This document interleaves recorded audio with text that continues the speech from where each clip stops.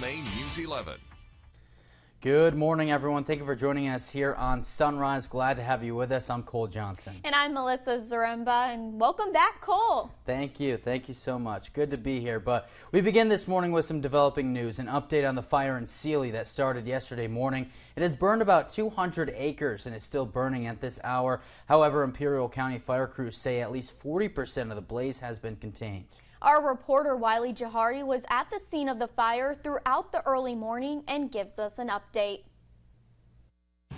Yeah, that's right. You can see behind me just a few steps from where I'm standing some of that fire which crews are attending to, but some spots more heavier than others. Take a look behind us as well. That is really the situation here in Seeley. About 80 homes have been evacuated and left without power. The deputy fire chief telling us if you're still here, it's time to go remember that the property could be replaced and a life can't. Uh, we did have one injury of one firefighter today. Uh, fortunately enough, he was seen and released uh, with the second degree burns uh, to, to his body, 7% of his body.